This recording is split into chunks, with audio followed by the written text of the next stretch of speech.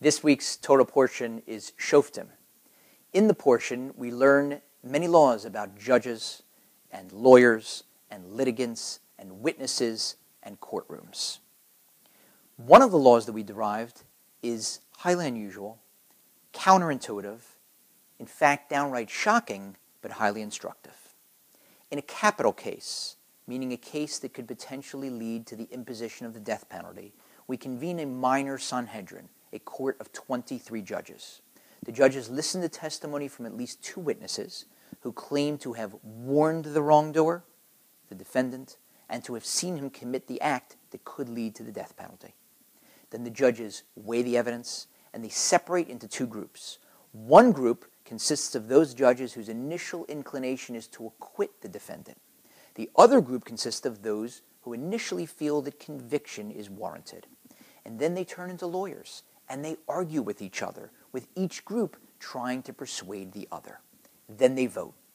If a simple majority of judges, 12 to 11, votes to acquit, then the defendant walks. He's acquitted.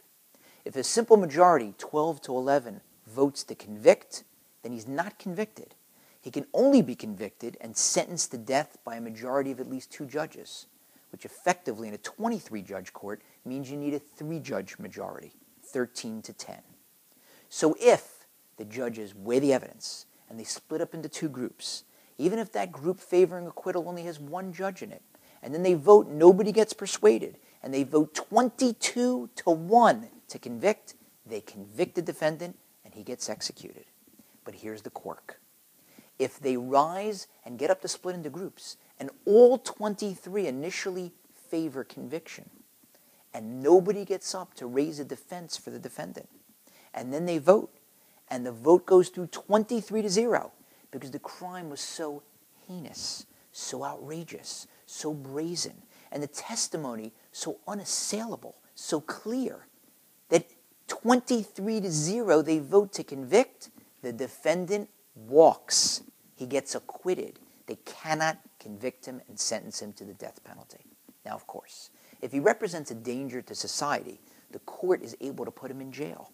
And if he really was supposed to die, we have the ultimate parachute or safety net in that God can probably figure out a way to take care of that. But we don't convict him, even though it was so clear. Why? To teach us a lesson, perhaps, that there is no person who is so irretrievably evil that he doesn't deserve a defense, some benefit of the doubt. Now, if that's true for a cold blooded killer, then how much more so is it true in our personal lives? How much more so are we urged to give the benefit of the doubt to a friend or to a relative? And how much more so should we give the benefit of the doubt to ourselves, particularly now as we stand in Elul, the month that leads into the high holidays, Rosh Hashanah and Yom Kippur, when we're going to be judged. But we're not going to be judged by some tyrant, by some trigger happy maniac hell bent on doing us in. We're going to be judged by God, our benevolent, loving God, who wants so desperately to give us every possible benefit of the doubt, to defend us, to stand up and argue for our acquittal. So we shouldn't give up on ourselves. No matter how bad a boy or girl you've been, it's not too late.